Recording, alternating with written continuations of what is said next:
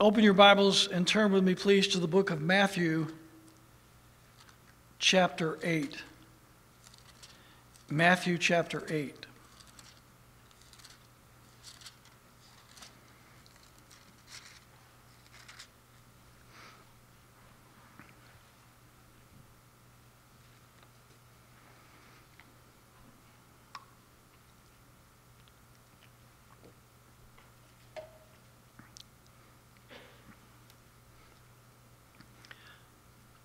Last Sunday, I reminded us of God's Word, saying, 2 Timothy 1 7, For God hath not given us the spirit of fear, but of power and of love and of a sound mind.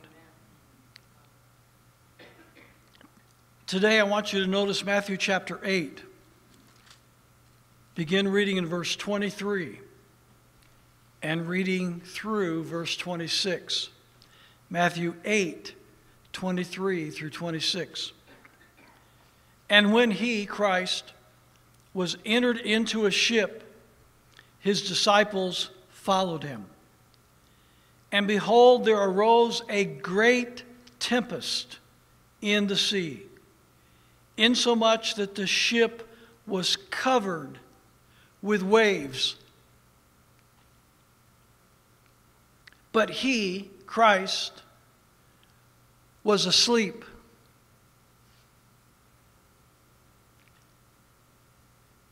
These, many of these men were fishermen.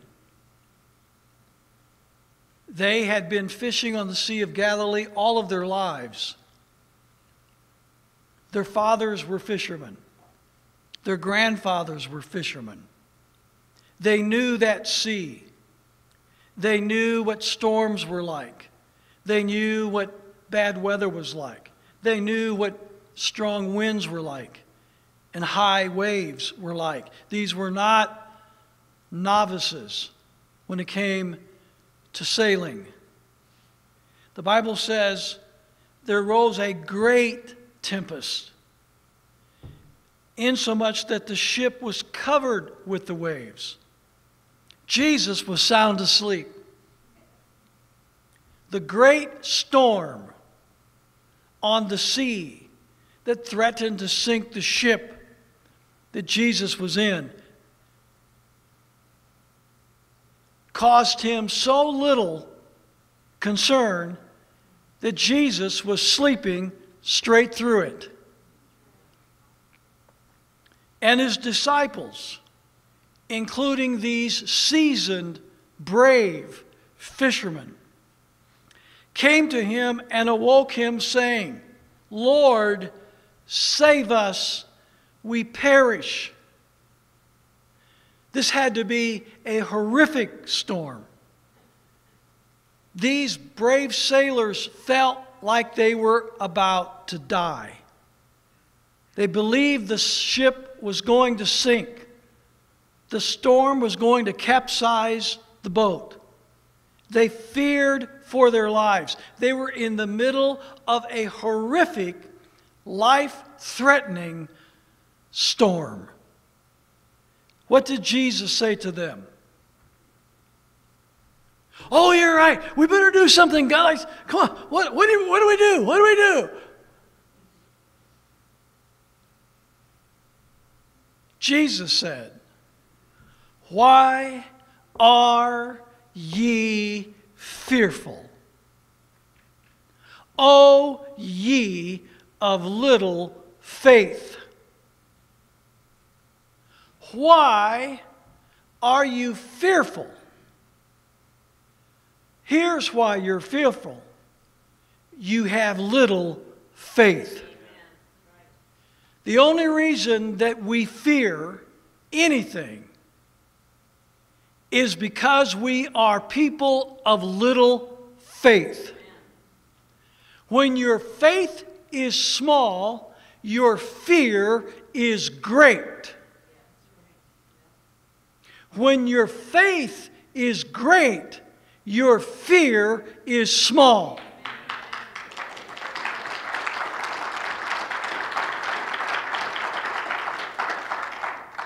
America has a fear problem, and Christians have a faith problem. Why are you fearful?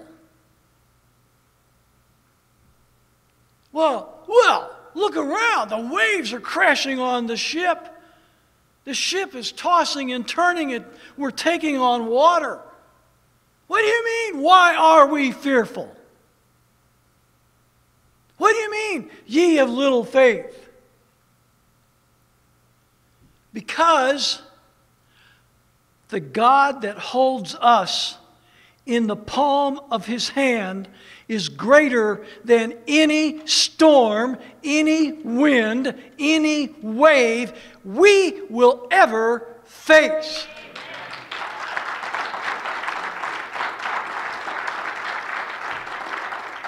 So if you're afraid, it means you have forgotten that. Or you have chosen to ignore that. Or you have chosen to walk by sight and not by faith. Four times the Bible tells us the just shall live by faith.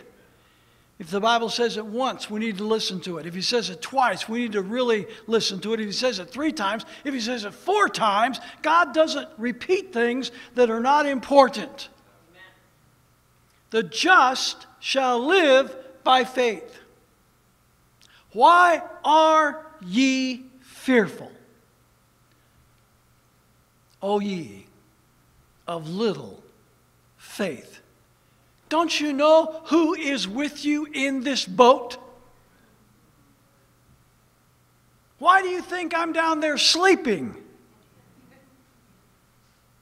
Do you have any idea who is with you in this storm. I'm the one that made these winds. I'm the one that made these waves.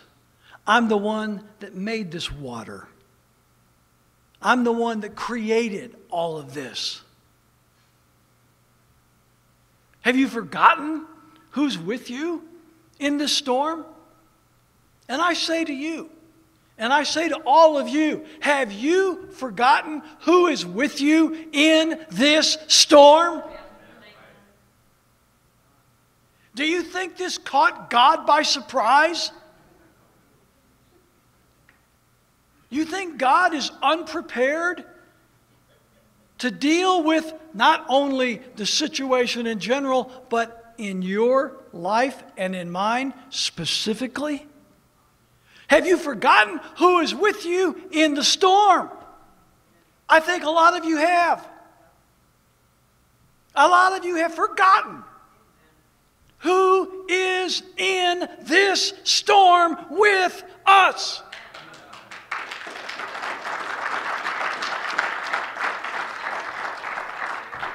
Lovingly, I say, shame on you. As Christians, we should not be of the same susceptibility to the terrors of this world as those who know not Christ. What do we have to offer an unsaved world if we cannot stand bravely, courageously, with faith in God in the worst of times? What do we have?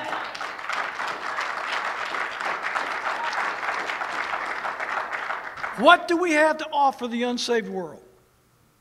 If we cower in fear as they do, if we are intimidated as they are, if we are as fearful as, what do we have to offer them? How is what we have any different than what anybody else has?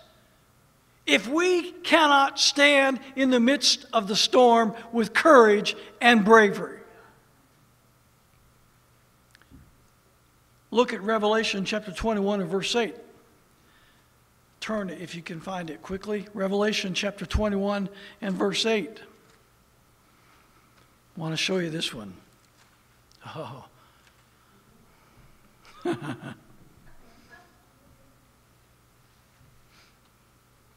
Hold on to your seat. Look what Jesus said in Revelation 21 in verse 8. But the fearful and the unbelieving and the abominable and murderers and whoremongers and sorcerers and idolaters and all liars shall have their part in the lake which burneth with fire and brimstone, which is the second death. What's the first type of person named in that list? The fearful. The fearful shall have their part in the lake of fire.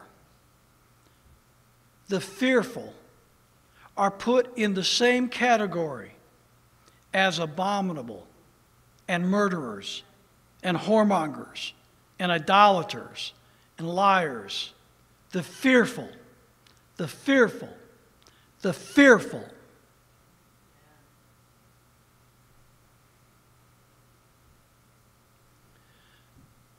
The fearful are putting out the sign.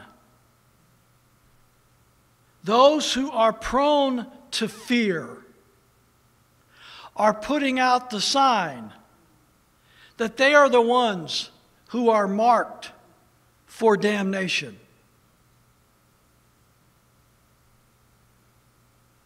They are giving off the signal I'm not among the redeemed.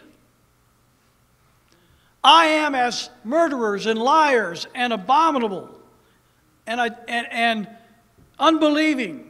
I am as whoremongers and sorcerers. And I will share the same fate as they.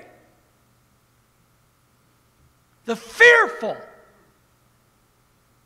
shall have their part in the lake which burneth with fire and brimstone. How we respond to fear is a test of the reality and the veracity of our Christian profession.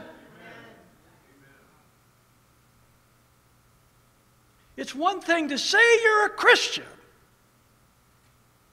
when it doesn't cost you anything to be a Christian. But when you're looking in the face of fear, when you're looking in the face of threats and intimidation, that's when you will prove to yourself that you are the child of God and not part of those who are of perdition. Courage is not something that you build up. It's not something that you have to get in a group and everybody go rah, rah, rah, rah, and, and, and get all this, you know, and drink some whiskey and put some drug in your vein and hoo, hoo, hoo, hoo, and then go attack the enemy. That's not courage. Courage is something that we receive from God Himself.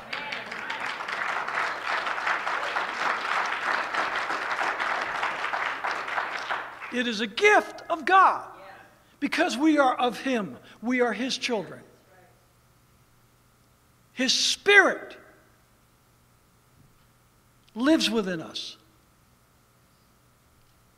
And so, it's not something we work up. It's something that is just within us. And whenever it becomes necessary for that part of the Spirit's blessing in our lives to manifest itself, it manifests itself naturally. These people that are cowering in fear, are giving out signals that they do not belong to the God of heaven. They're giving out signals that they're part of the fallen race of men, as are murderers and abominable and whoremongers and sorcerers and all the rest of the fallen race. You say you're a Christian. Well, then this shouldn't be a problem. This shouldn't be a problem. Proverbs 3:25, you don't have to turn to it. I gave this verse to you last week. Be not afraid of sudden fear when it cometh. Be not afraid of sudden fear when it cometh. The Bible says in Ephesians 6:12 that we wrestle not against flesh and blood, but against principalities and powers and spiritual wickedness in high places. Amen. You remember that verse? Well, I'm here to tell you, I don't have to tell you because you already know this.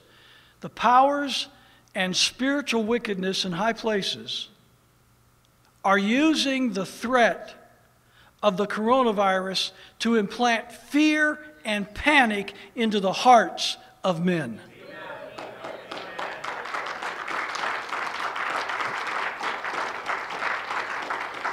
Let me give you a little history of the virus. The virus was identified in the 1960s.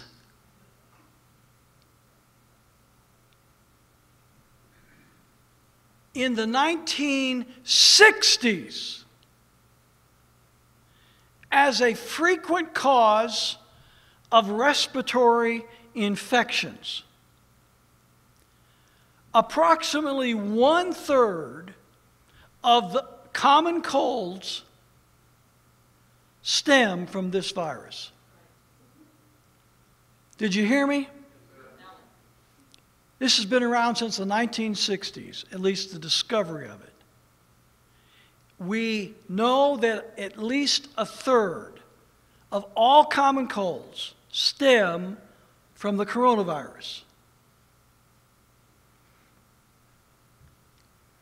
To this point, there has been no way of knowing whether the people said to have the coronavirus actually have the novel coronavirus or COVID 19 or other strands of the virus.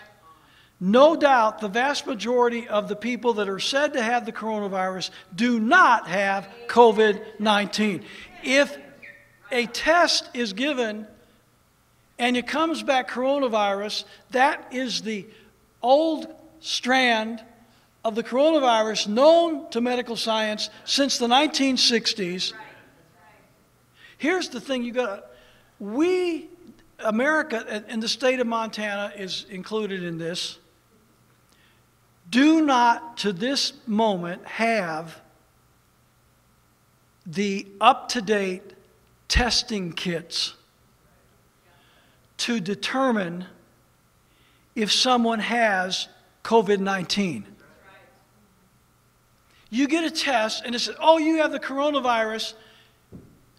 What test are they using to tell you that you have the coronavirus? The states don't even have those testing mechanisms available in the entire state. Montana doesn't have the testing equipment to test for the COVID 19 virus. They do have plenty of testing for the old standard coronavirus, which may be prompting bad colds, it could be prompting the flu. Has anybody here ever had the flu? Hand. Okay, looks like most of us. I had the flu once, many years ago. And no, I do not and will not take the flu vaccine.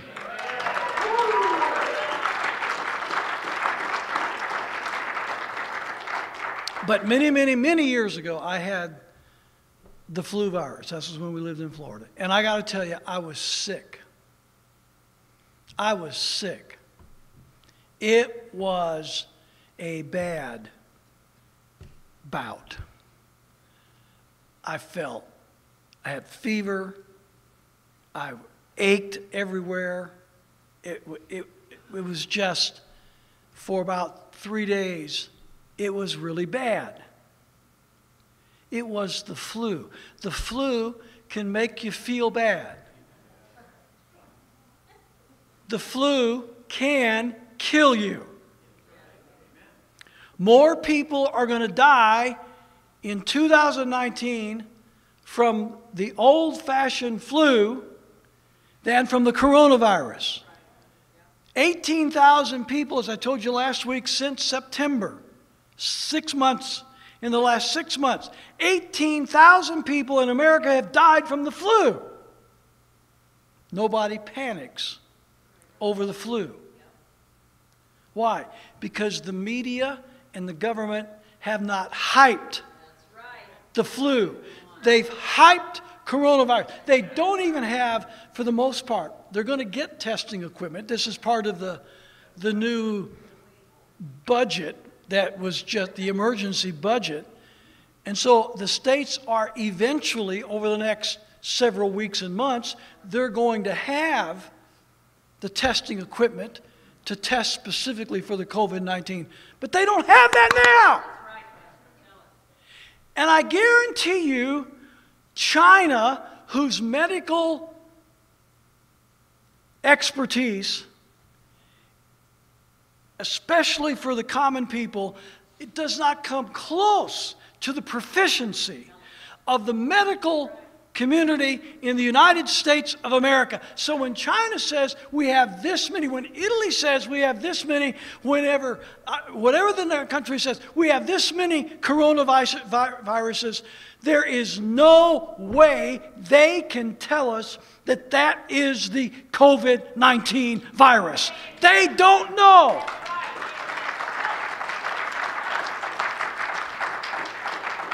It could be a strand of coronavirus that's been around for over 50 years. It's making people ill. Nothing new about that. The fact is, they are saying something of which they have no definitive knowledge. And the media and the government are taking it and exploiting it.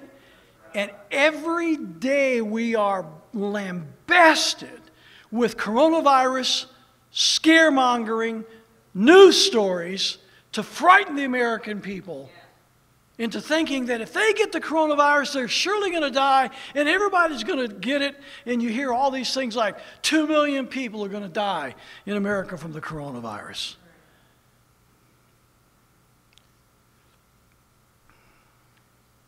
So that's the first thing you need to understand. When you hear them say X number of people have the coronavirus, that doesn't mean they have COVID 19. It doesn't mean it. They don't know it. And fact is, the vast majority do not have COVID 19.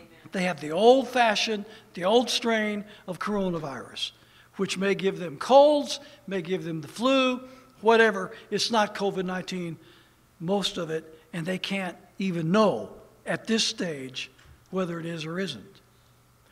Let me give you another fact.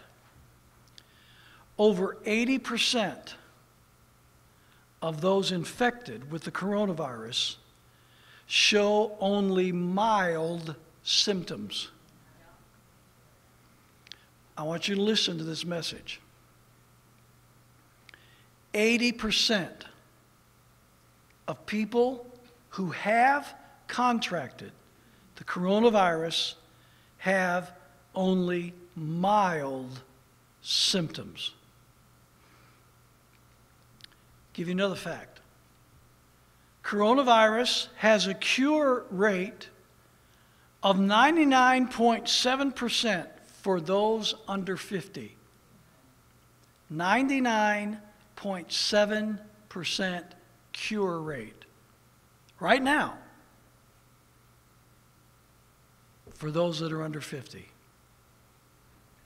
Overall, the survival rate of those infected with the coronavirus is 98%. So that's including even people that are older than 50. All age groups, all categories. The survival rate is 98%. In the first place, you have a minuscule chance of contracting the coronavirus. Secondly, if you do contract it, you have an 80% chance that the symptoms are going to be mild. Thirdly, you have a 98% chance that the coronavirus is not going to kill you. Coronavirus has a contagion factor of two. SARS, remember that one? Had a contagion factor of four. The measles has a contagion factor of 18. I'm just trying to show you that the spread of the coronavirus or the potential spread of the coronavirus does not even come close to matching other diseases, with measles, as an example, being nine times greater than coronavirus. You ready for some more? Oh, I know you're not getting this on CNN or Fox News. And you're not getting it on most patriot websites either, unfortunately. Our patriot, so called patriot friends, are as culpable as the mainstream media in fomenting fear in the hearts of the American people. And I say to them, shame on you! Shame on you!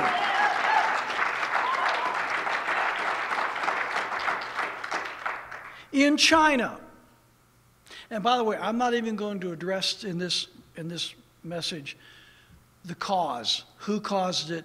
Why was it caused? Was it natural? Was it man made? Was it China? Was it the United States? I'm not even going to get into that. It doesn't matter. For our discussion here, it doesn't matter. In China, where this thing supposedly started, I'm talking about even in Wuhan, China, the mortality rate from the coronavirus you know what the mortality rate over there in Wuhan, China is for the coronavirus? 0.4%. 0.4% mortality rate from the coronavirus in China.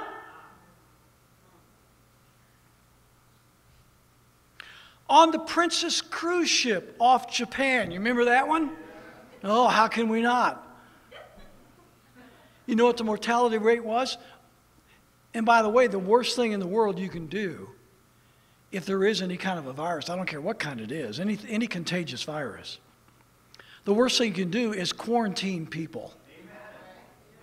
Because all you do then is put the virus in a small, compact area, and anybody who doesn't have it is almost sure to get it.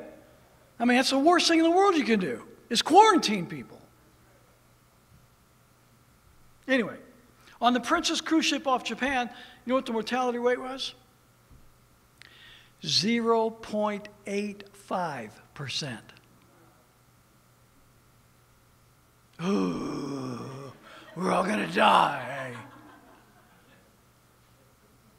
0.4 in China, 0.85 on the cruise ship, in Germany, 0.2%. Globally, the mortality rate for the coronavirus is under 1%. It's under 1%.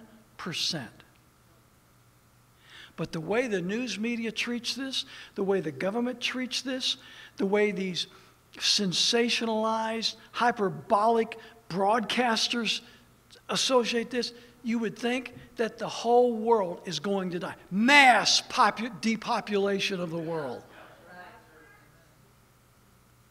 Really? 0.4% in China, 0.85 on the cruise ship where everybody supposedly was sick. Germany, 0.2. Globally, under 1% mortality rate. Have you noticed something? In almost every election year of this century, there has been a virus scare. And almost every election, let me give you a little history. 2004, SARS was going to kill all of us. 2008, the avian flu was going to kill us. 2010, it was the swine flu. 2012, MERS. 2014, Ebola. 2016, Zika. 2018, Ebola again. 2020, Corona. Every election year, we're all going to die. It's amazing how these viruses never show up in the odd years.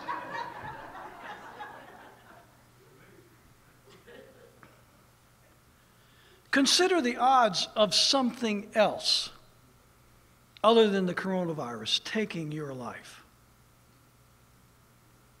So far, 12 Americans have died from the coronavirus. That's the last stat I've heard. But since September, over 30 million Americans have contracted the flu. You heard it right 30 million. And 18,000 have died. Every year, over 50,000 people, I'm talking about this is just the United States, it's not globally. In the United States, 18,000 people have died so far in the last six months. 50,000 die every year from the flu. Where's the panic over the flu?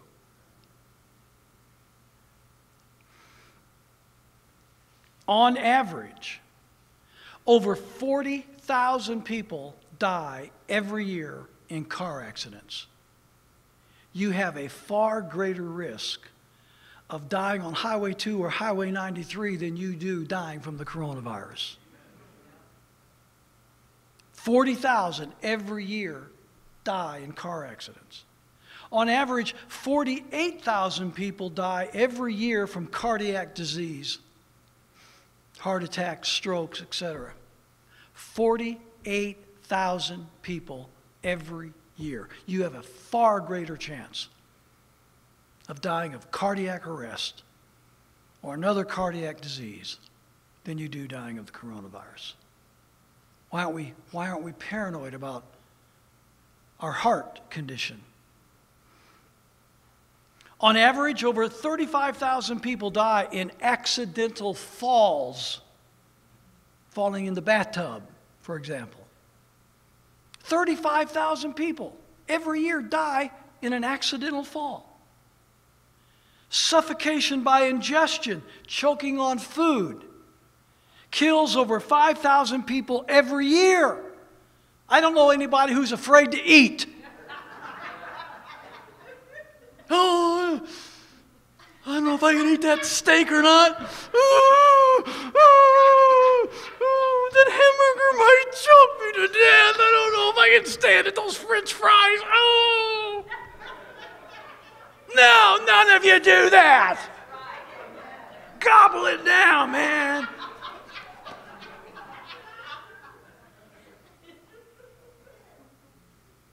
Five thousand people a year die choking on their food.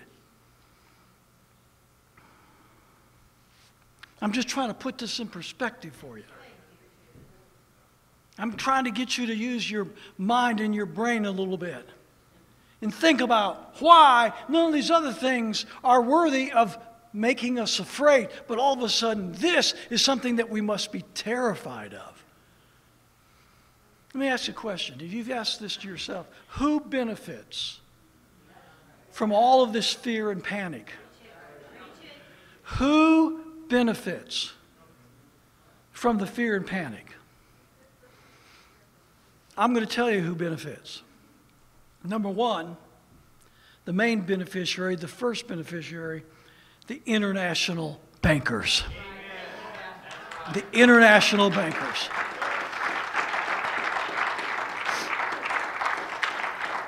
Two weeks ago, and I told you this last week, Trump signed an $8.3 billion aid package to fight the, the virus.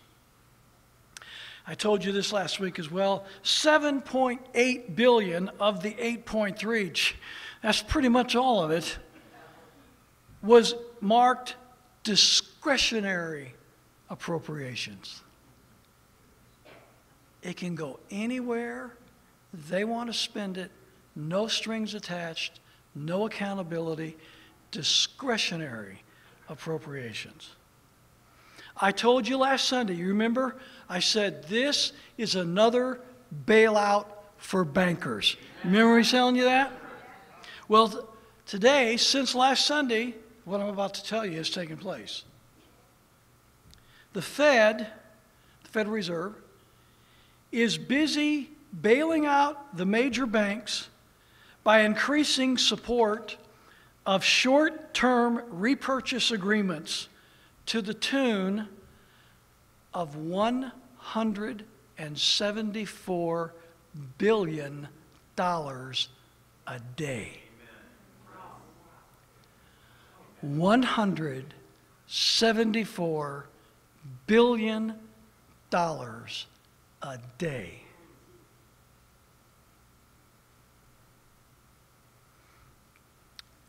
Think back 2008 and 2009 with 9 11 and the bailouts.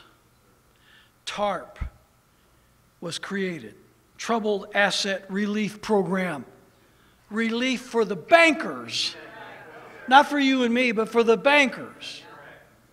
The bailout, the total bailout of the banks under TARP, 2008 and 2009, no, it's not 9 11. That would be the, the, the Great Recession that collapsed. That was spawned by 9 11. It wasn't 9 11. I misspoke. You know what I'm talking about? The, the crash of 2008 and 2009 were 800 billion. That was the total. That was the total that we were, that we were given. That was the total that Congress was told the total that was on paper.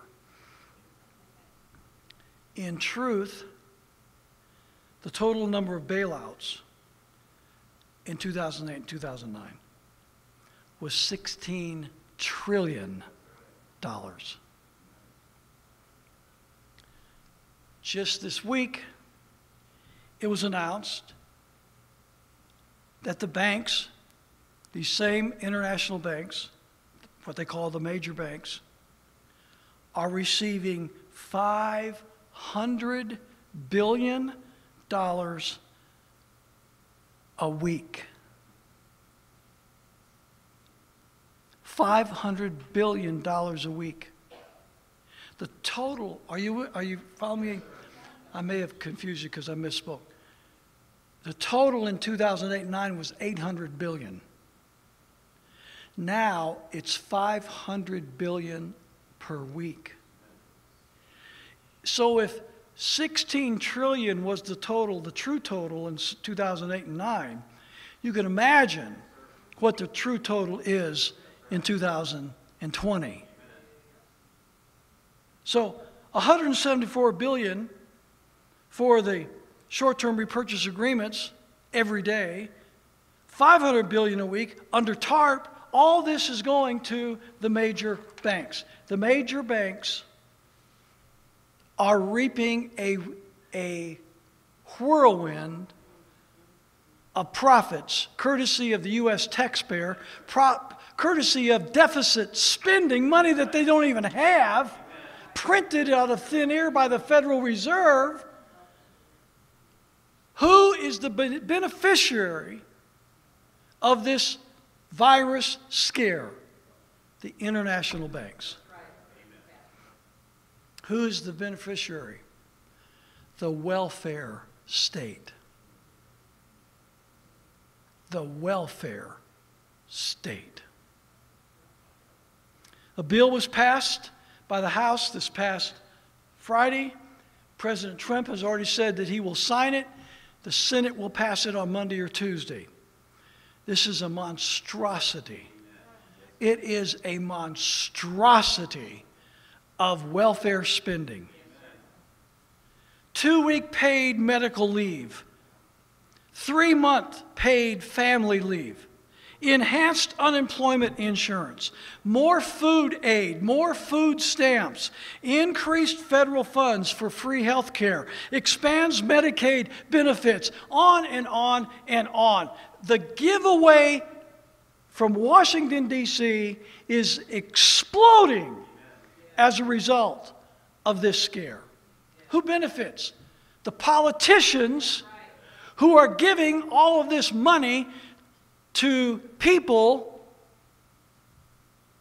the state governments that are taking the money from the federal government, disseminating it to the people of their states, at, who in turn will receive the votes of the people who are receiving the benefits from the bank. This is all coming from hard working, tax paying American citizens.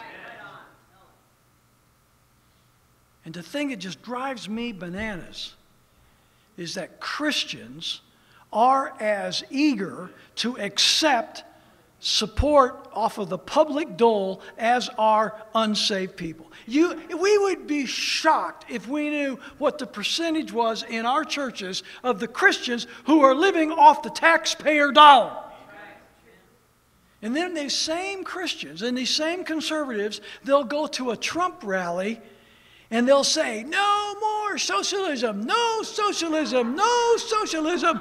And Trump gets up, America will never be a socialist country. Are you kidding me, Mr. Trump? America is already a socialist country.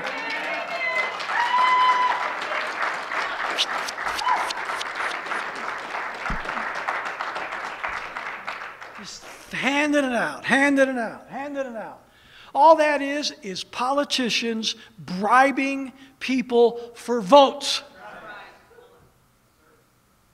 This has exploded the welfare state. And you and I both know once they get this kind of stuff on the books, it never goes away. There's not a Congress in the future that will ever rescind any welfare expenditure that was granted in Congresses before. It'll never go away. I, I want to tell you, I, I, mean, I mean, you talk about something to be afraid of.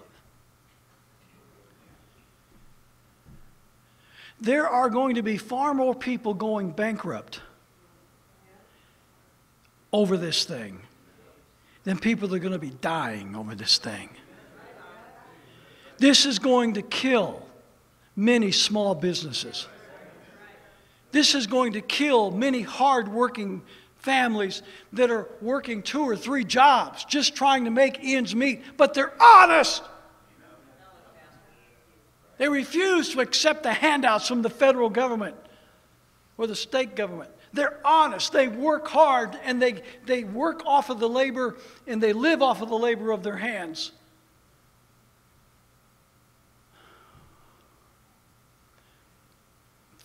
This is going to put a lot of them out of business. Think about the employees in these stores whose hours are now being cut, or maybe they're being laid off. Think of the jobs that are already lost. Think of the jobs that are being lost. And all this government taxpayer dollar going to the welfare state, increasing our federal deficit, increasing our deficit spending. We are $23 trillion in debt. That's before all of this expenditure began. $23 trillion in debt. And yet, we act like, well, we politicians act like they have all the money in the world just to give and give and give and give.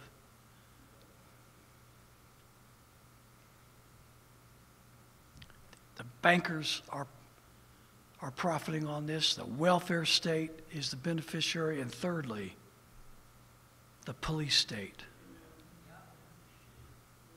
is the beneficiary of this scare.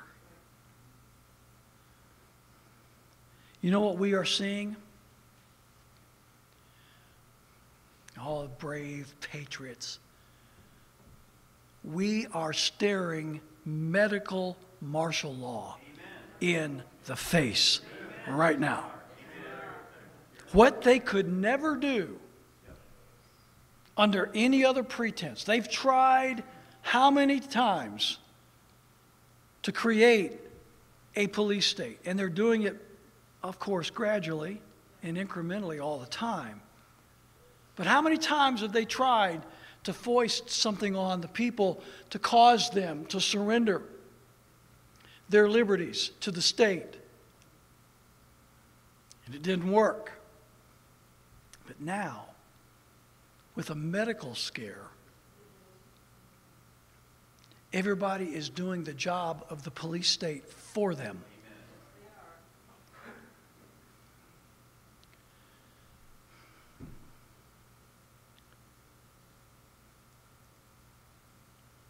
On the whole, the American people, including Christians, pastors, and churches, are happily surrendering to it. All in the name of protecting us from the coronavirus or any other risk or hardship, whatever it may be. It's the coronavirus now. In years past, it was something else. When this is over, it'll be something else. Protect, we're just protecting you. We're protecting society. We're protecting your family we have to take away your liberties to take care of you. Don't you understand?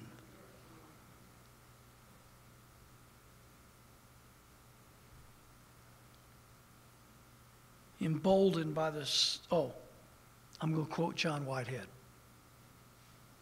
John Whitehead, president of the Rutherford Institute, perhaps the, I mentioned him last week, maybe the best source for all things police state in this country.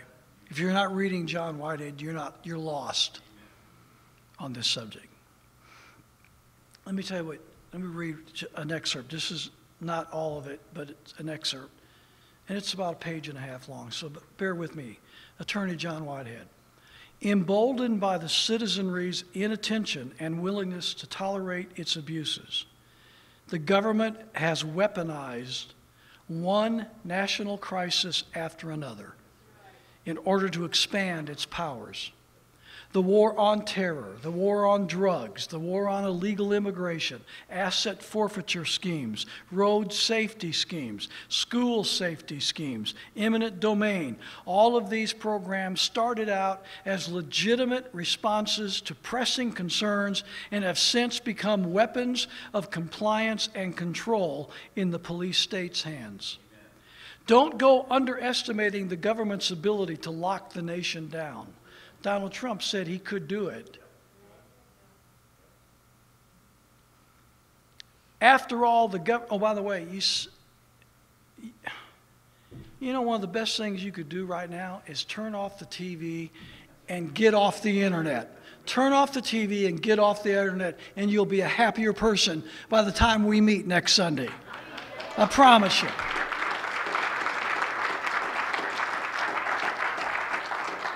But we've seen the pictures of these Italians who've all been quarantined in their own homes, the whole, the whole nation, forbidden to leave their home. And we see seen videos of some of the, uh, the men and women, windows open, and they're singing. You've seen those, right? And they're singing, you know, happy, and, I, and I've seen some, oh, isn't that wonderful? So encouraging, singing from their window. Don't you know what you're seeing? Don't you know what you're looking at? You're looking at a bird singing in its cage. That's what you're looking at. Oh, wow. That, it, that caged bird sure can sing pretty. Oh, wow. Let's tap the cage and make him flap a little bit and put a mirror in there. Maybe he'll sing a little bit more. Oh, that bird sings such wonderful melodies. Isn't it just wonderful? Birds singing in their cages. Thank you. I prefer not to be in a cage.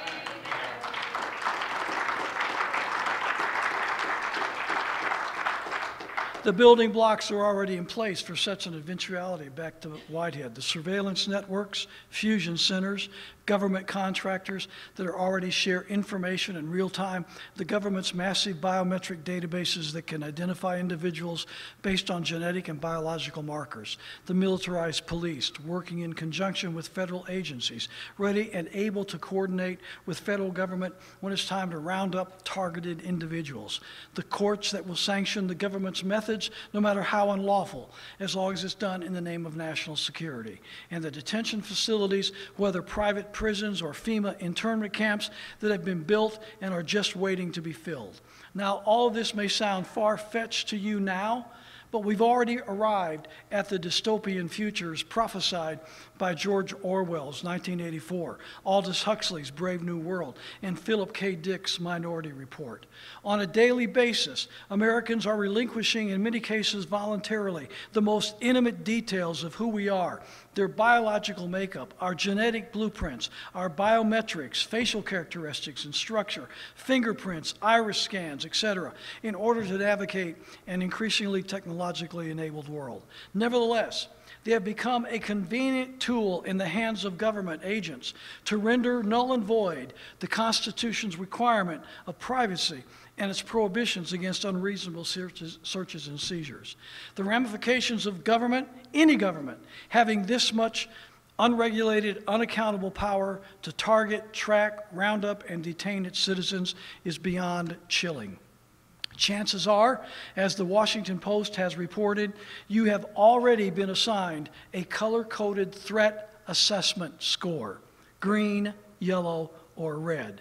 So police are forewarned about your potential inclination to be a troublemaker depending on whether you've had a career in the military, posted a comment perceived as threatening on Facebook, suffer from a particular medical condition, or know someone who knows someone who might have committed a crime. In other words, you're most likely already flagged in a government database somewhere. In the meantime, Cover your mouth when you cough or sneeze. But as I make clear in my book, Battlefield America The War on the American People, it's the American surveillance state, not the coronavirus, that poses the greatest threat to our freedom.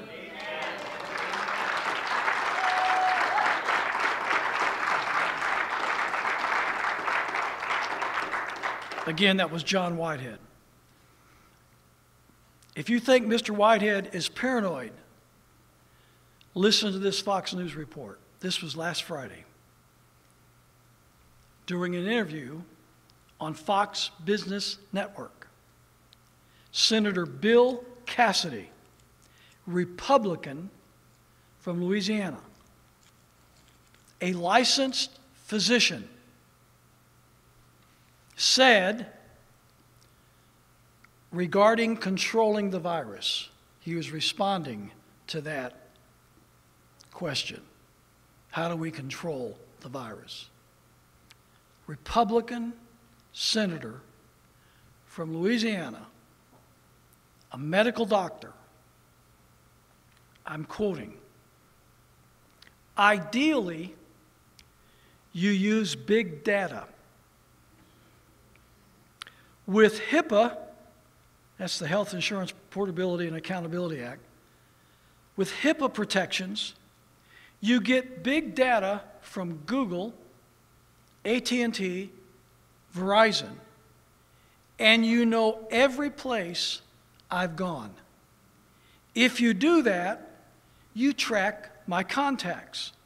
You clean down places that I've been. But then those people I have exposed myself to can be tested and then keep going until you have everybody corralled. That's what South Korea did. That's what Taiwan has done. Frankly, that's what we should be doing. We should be pushing CDC to make this happen. Close quote. This is a Republican U.S. Senator saying this. Use big data to completely control my environment, track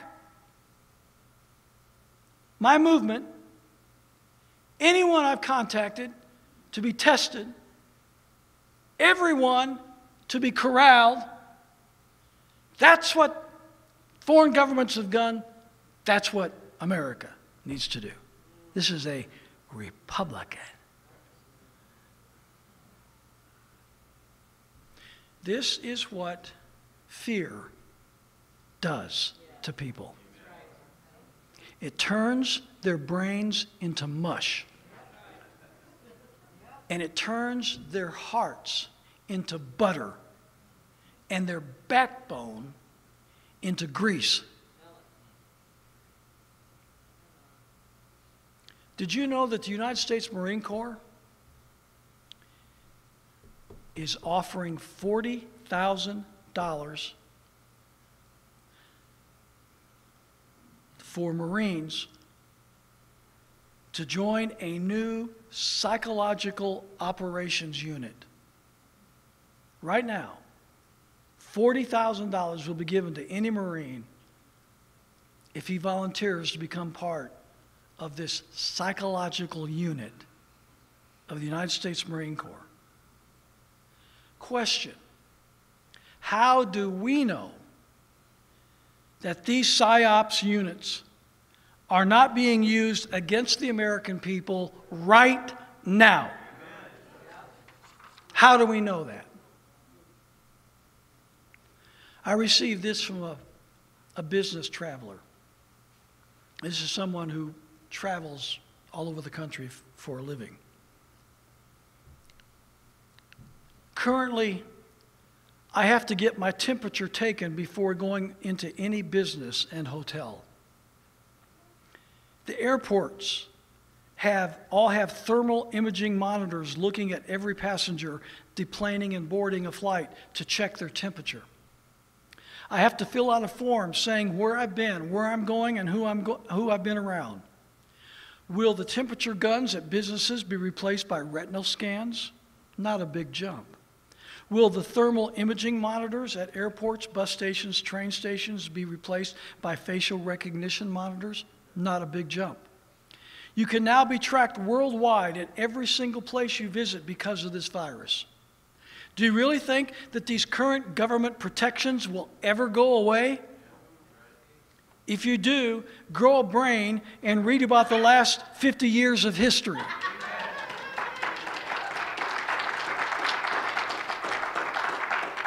This is a dream virus for anyone or any entity that wanted to bring the population under complete control.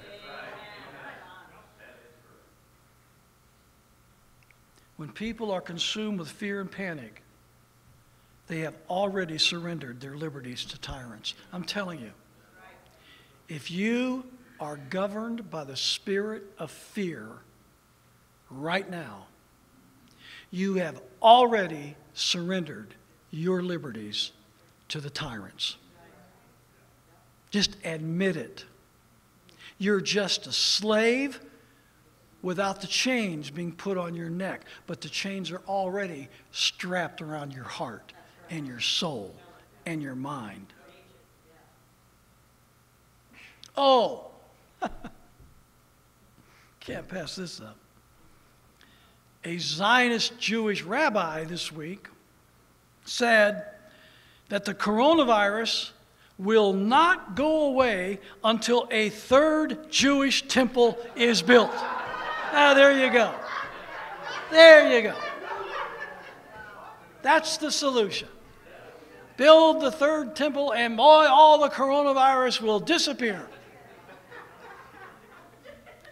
Man, I can't he- wait to hear what Bible verses that Zionist prophecy preachers like John Hagee, Ken Copeland, and Robert Jeffress are going to come up with for that one.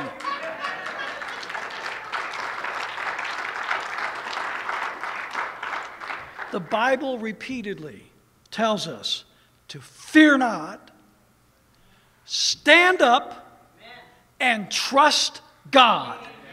That is our assignment. Fear not, stand up, trust God.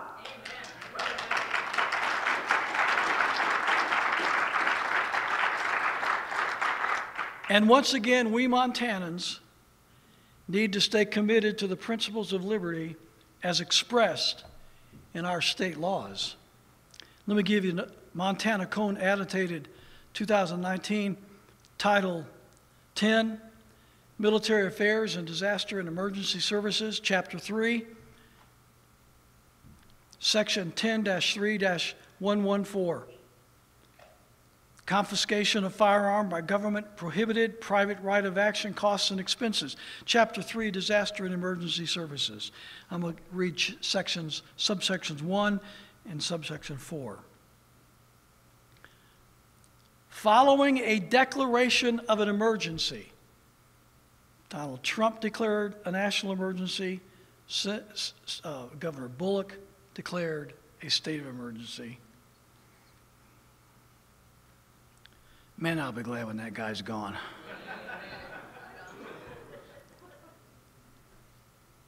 Here's the law in, in Montana. Following a declaration of an emergency or disaster pursuant to this chapter, a peace officer or other person acting or purporting to act on behalf of the state or political subdivision of the state may not take a confiscation action. Subsection 4.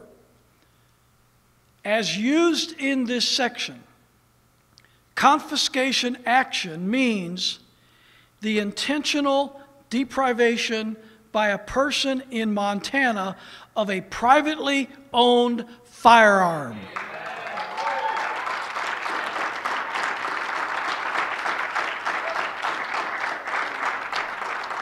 Our state law codifies our natural God given right to keep and bear arms, and even a declaration of emergency or a disaster or anything of that nature authorizes our government or any subsidiary thereof to confiscate the firearms of the citizens of the state of Montana.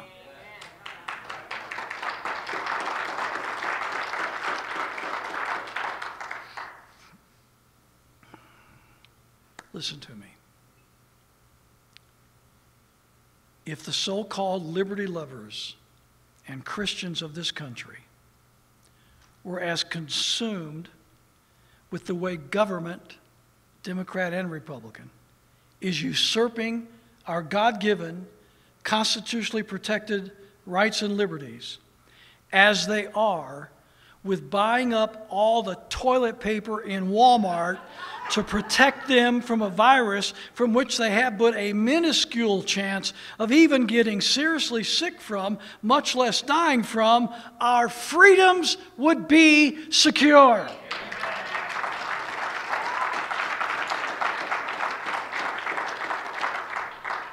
But the fact is, Americans are surrendering their liberties without a whimper.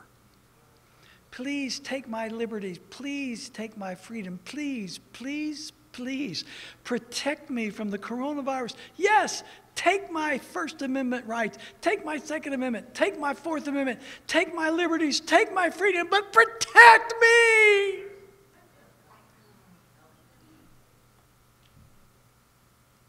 America is no longer the land of the free and the home of the brave. It's the land of the sheep and the home of the scaredy cats. Here's the, here's the spiritually, here is the spiritual bottom line. This is very important. So called Christians are just like the unsaved world. They are living for themselves. It's all about them. Their security, their happiness, their protection. It's all about them.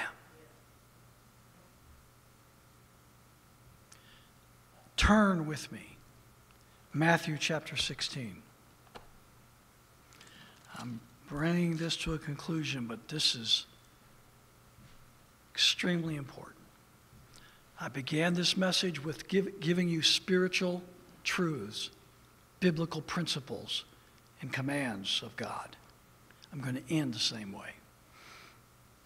Matthew chapter 16, verses 25 and 26. Jesus said, For whosoever will save his life shall lose it. And whosoever will lose his life for my sake shall find it.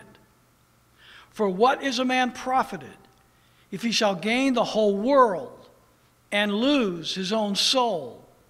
What shall a man give in exchange for his soul? Whosoever will save his life lives for his own safety,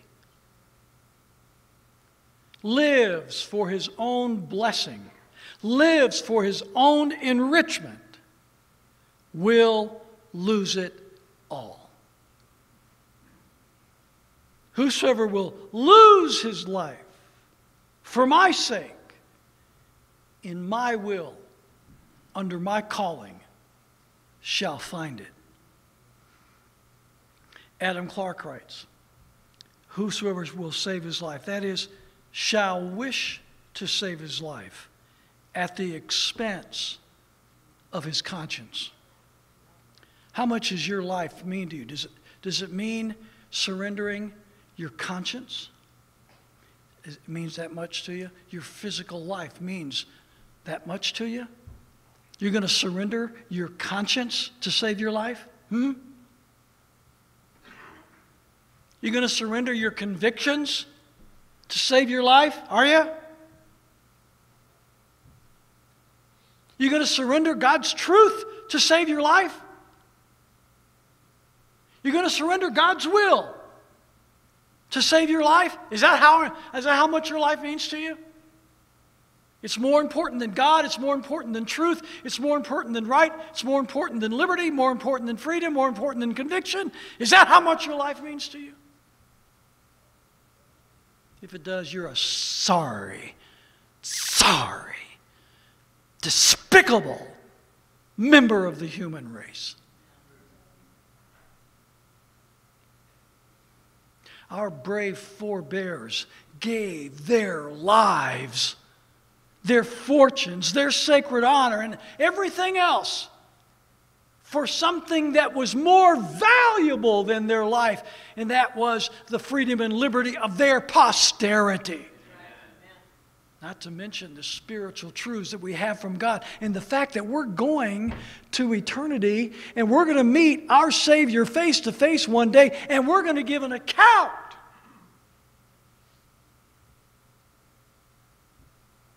That is, shall wish to save his life. At the expense of his conscience, he shall lose it. The very evil he wishes to avoid shall overtake him, and he shall lose his soul in the bargain. See then how necessary it is to renounce oneself. But whatsoever a man loses in this world for his steady attachment to Christ and his cause, he shall have amply made up to him in the eternal world. Adam Clarke anything we surrender for Christ, including our lives, will be restored to us a hundredfold and more when we see the Lord in heaven. Do you realize that this is not the end of it? Do you realize that? Do you realize that when you die, it's not over, it's just the beginning? Do you really think this is all that there is? You think you're like a dog, a, a cat, when you die, that's it, you're gone? No. You were made in the image of God, and that soul is going to live forever and forever and forever. And in eternity, we're going to live with the decisions we make in this life.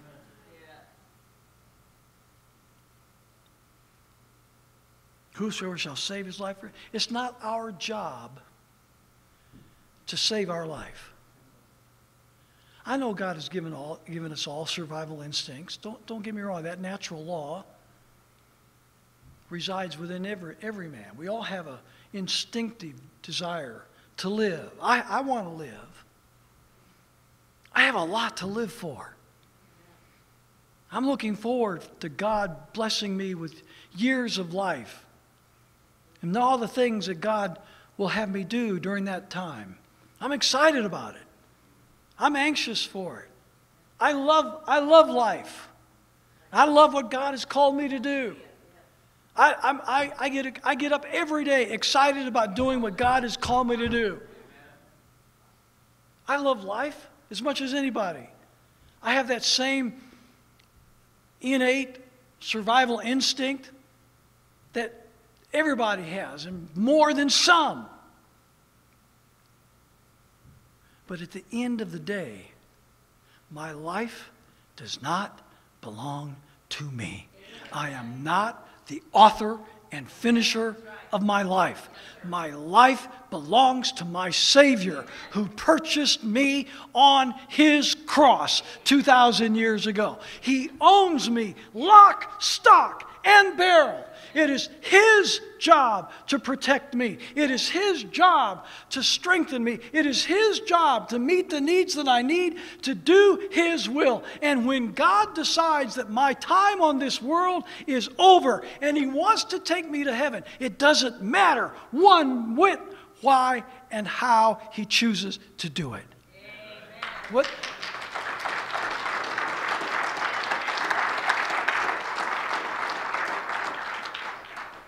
Our lives, your life, belongs to the Lord. Doesn't belong to you. God gave you life. God sustains your life. And when God is ready to take your life to heaven, He will do that. And there's nothing you or I can do to stop it. And there's nothing I would want to do to stop it.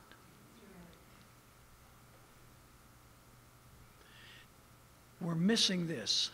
Come on, pastors! Where are you? We're missing this truth.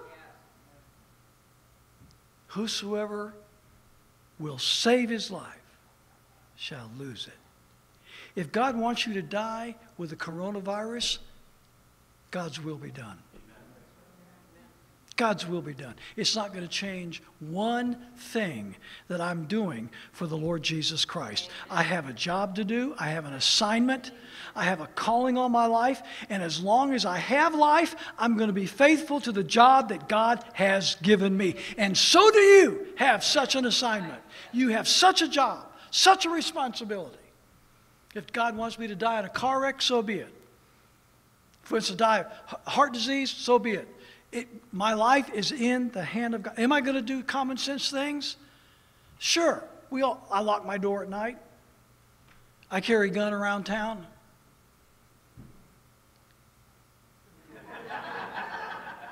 I'm just checking your reaction. Sure. We take God, God, that's a natural law that God gave us.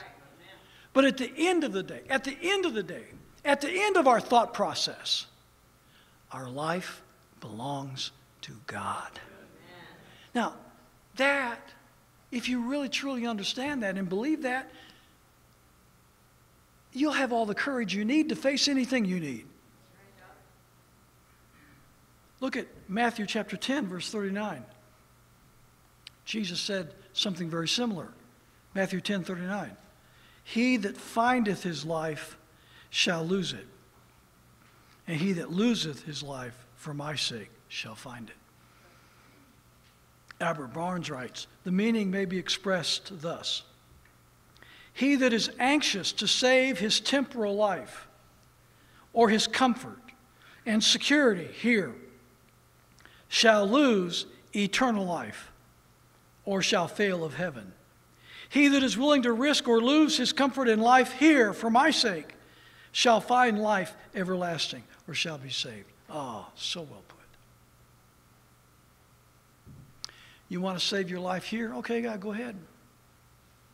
And then you lose it in the next life. Or you can lose your life here to Christ. You lose your life in Christ, and you can save it in the next life. It's up to you. Take your choice. Go ahead. If you're consumed with this life, if that's what means more to you than anything else in this world, fine. Save your life and go to hell. Because that's where you're headed. Because real children of God have been born again by the Spirit of God are living their lives for Christ. Amen. He is their life. We don't hold on to this life. We hold on to the life of Christ. In Him is life. In Him is eternal life. We are not here for ourselves. We are here for Christ and for his will. One final passage, Philippians chapter 1, verses 20 and 21. Philippians chapter 1. Not long after I was called to the ministry, I read these verses. And I claimed these verses for my ministry. I was 19 years old. And I can tell you to this very hour, I still claim these verses as a servant of the living God. According to my earnest expectation and my hope, that in nothing I shall be ashamed, but that with all boldness, fearlessness, courage, as always, so now also Christ shall be magnified in my body, whether it be by life or by death. For me to live is Christ, and to die is gain. That's what Christians are all about. That's why in our founding generation, when the society was comprised of a large majority of Christian people with real preachers in the pulpits, they were willing to stand up against the threat of the loss of everything they had. They weren't intimidated, they weren't afraid, fearful, they didn't cower in fear. You know why John Hancock signed his signature in such big letters, right? He was the first one to sign. You know the story, most of you do. For those of you that don't know, when he signed that Declaration of Independence, big, big, beautiful letters. And somebody asked him, Mr. Hancock, why did you sign in such big letters? He said, Because I've heard the King George has failing eyesight. I want to be sure that he can read the name of John Hancock on that Declaration of Independence.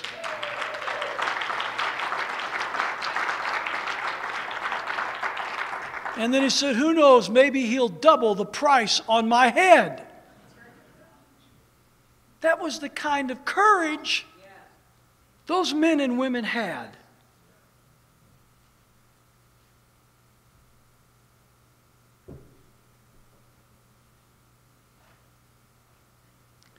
It's because as Christians, they knew that their life was Christ's. That Christ would be magnified in my body.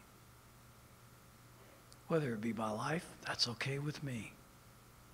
Or whether it be by death, that's okay with me. For to live is Christ, to die is gain. If you don't have that,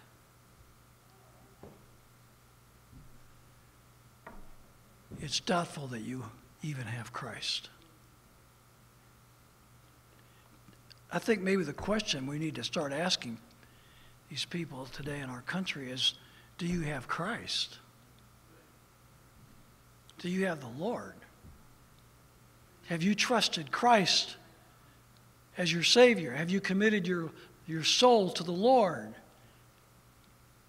If you've committed your soul to the Lord, then how hard should it be to be, commit your life to the Lord? If I can trust my eternity with God, why can't I trust my physical existence with God?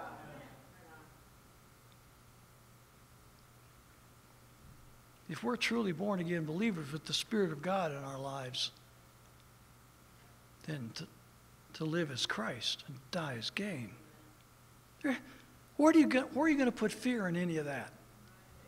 Come on, where are you going to find fear in any of that? You're watching too much television, and you're on the internet too much, and you're listening to these sky is falling doomsayers that are scaring you half to death. And you need to be in the Word and in prayer and letting God strengthen your heart and strengthening your mind and walking out here in this world with all of the courage and the bravery that God can give you and show the world that there's something different about a child of God.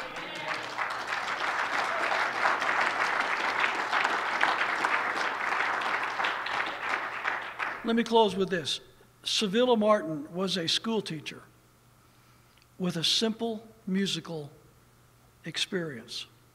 She and her husband, Walter Martin, 1862 to 1935, often wrote gospel songs for revival meetings. Hymnologist Kenneth Osbeck explains the circumstances surrounding the writing of this hymn that I'm going to share with you.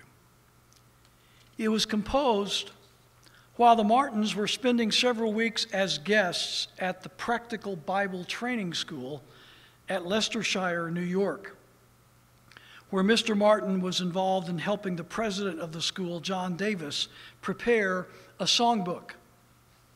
The Reverend Martin, a well known Baptist evangelist, was invited to preach at a church some distance from the Bible school.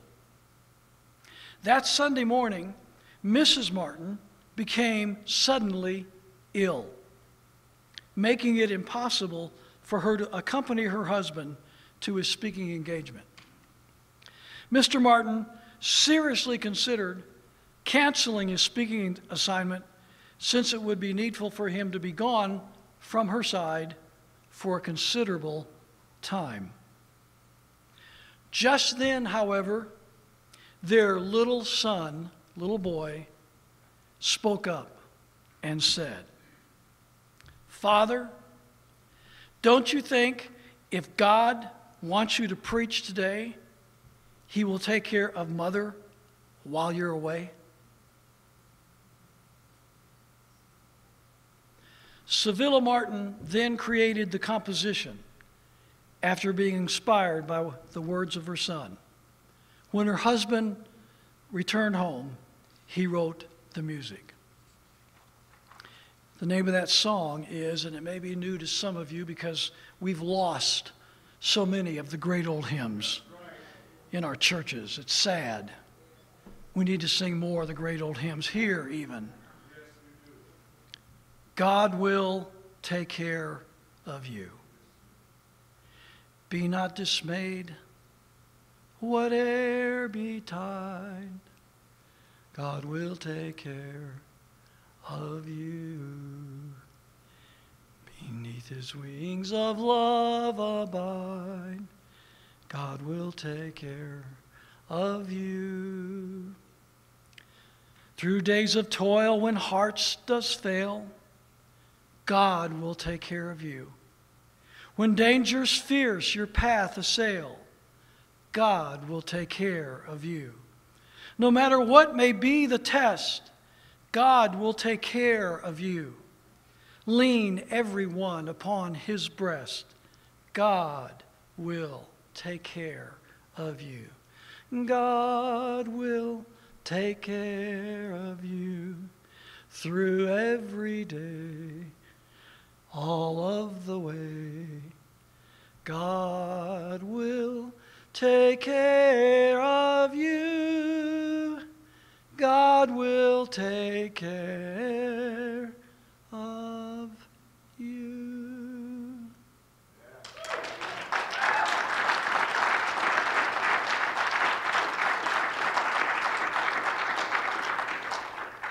God will take care of you.